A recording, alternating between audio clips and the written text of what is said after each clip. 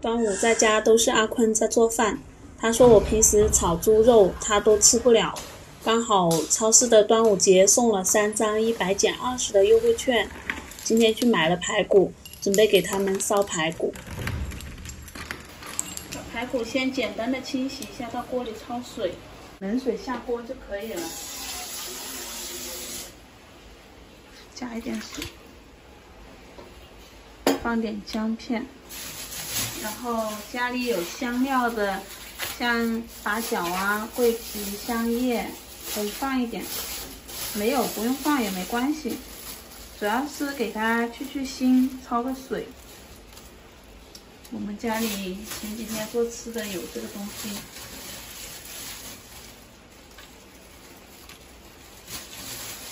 我放放着，等一下浪费了，所以把它用掉。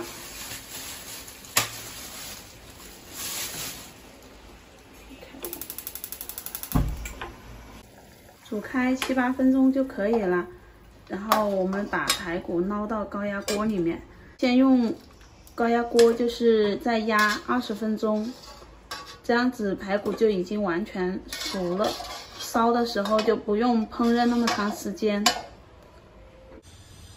就给高压锅直接加了水。现在呢，我再削两个土豆进去，削土豆进去，在烧的时候就跟排骨一起烧。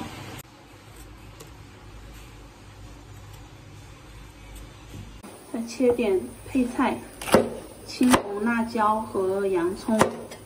阿坤说我做的菜总是没有什么颜色，要放点红色、绿色在上面装饰。最近特别喜欢用洋葱放到菜里面。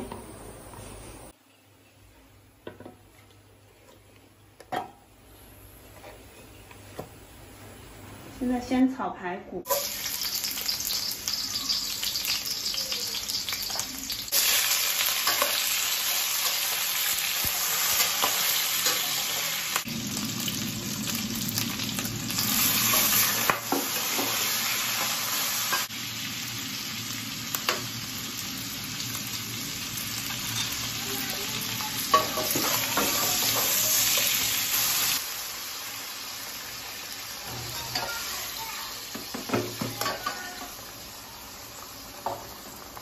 放点老抽上色，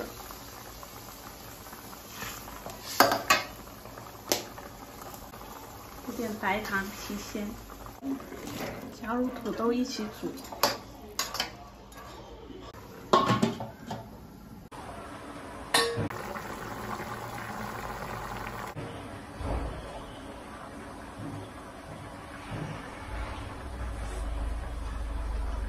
少许食盐，不要放多了。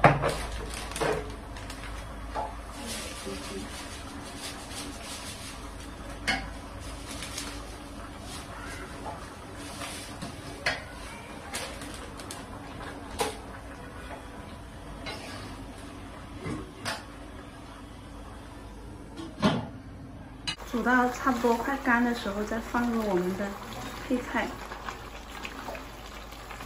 水有点少了，其实青椒和洋葱先提前炒香，最后收汁之前再加进去会更好。这样加水再盖上锅盖煮一分钟。好了，差不多可以关火了。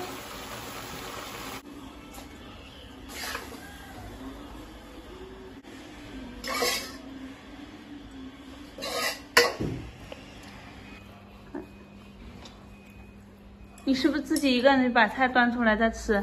我的手拦住了，我都吃不了豆腐。叫爸爸帮你弄。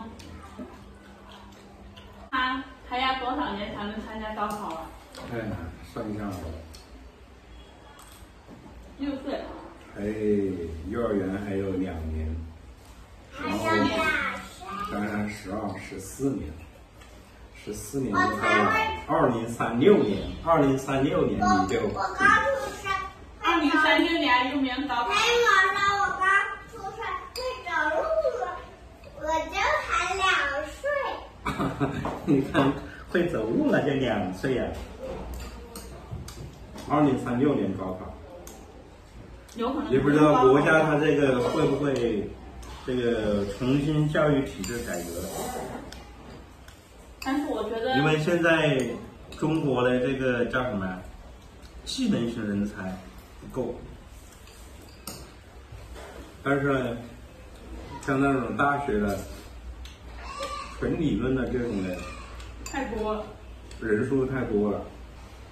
你看这今年大学毕业生一千零七十六万，而且零八年的话是五百万左右。今年高考好像有一千一百九十三万，比去年涨了一百多万。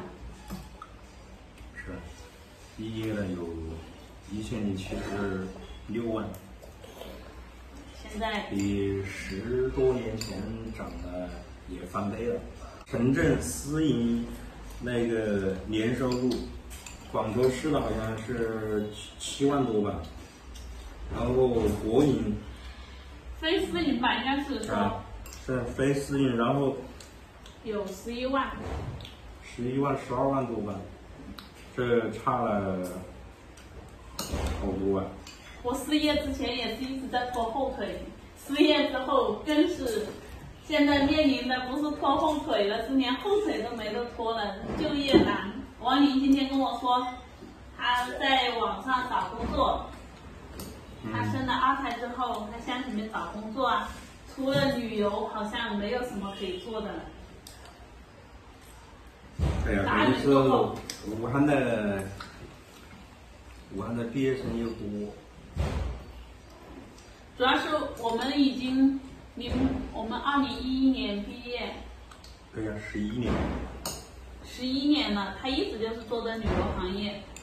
旅游行业这几年，但是这两年旅游我我觉得，除除非这个疫情能够，就是回到以前，就是没有这样子的管控情况下，就把疫情当流感一样的，大家都常就是很平常的，然后旅游才有可能再再稍微起来，死灰复燃，要不然就死翘翘的，就是。现在国外的旅游已经慢慢都放开了。没有那个疫苗限制令了。我肚子饿才吃韭菜。嗯，本来近几年，近几年旅游的话，就是做的出境是做的比较好，就是疫情之前。对啊。二零二零年之前是出境比较好。这块大骨头是我得了像我吃的。我二零一四年来广州的时候，旅游已经开始在走下坡路了，国内的。但是出境的话，它是属于一个上升的趋势的。对，毕竟那个叫什么消费升级。嗯。国内属于低消费，然后消费乱象比较多。